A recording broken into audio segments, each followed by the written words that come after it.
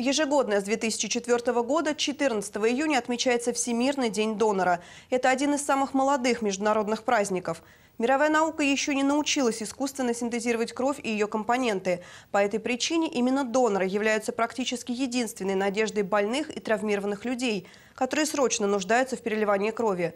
Наша съемочная группа побывала в Центральной клинической районной больнице в отделении, откуда начинается спасение жизни человека. Наша съемочная группа побывала в отделении переливания крови в обычный приемный день. После заполнения анкеты и обследования у человека берут кровь. Кроме прочего, она будет еще обследована и на различные инфекции. Берем такие обследования, как гепатит, ВИЧ, сифилис и общий анализ крови. Владимир Курдюков, житель города Видное, студент Московского медицинского колледжа, в этот день пришел сдавать кровь в первый раз.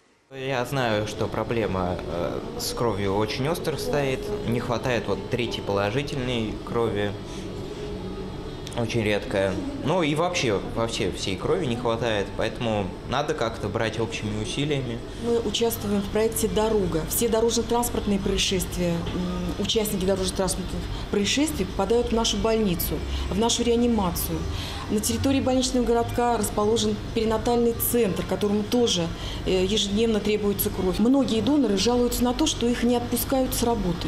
Вот отношение руководителей – несколько, я бы сказала, ну, не демократичное по отношению к донорству. Николай Звренчук, сотрудник ПТО городского хозяйства, с 25 лет сдает свою кровь и помнит те времена, когда донорство было в почете. Когда я раньше сдавал, плазму, допустим, сдавал, да?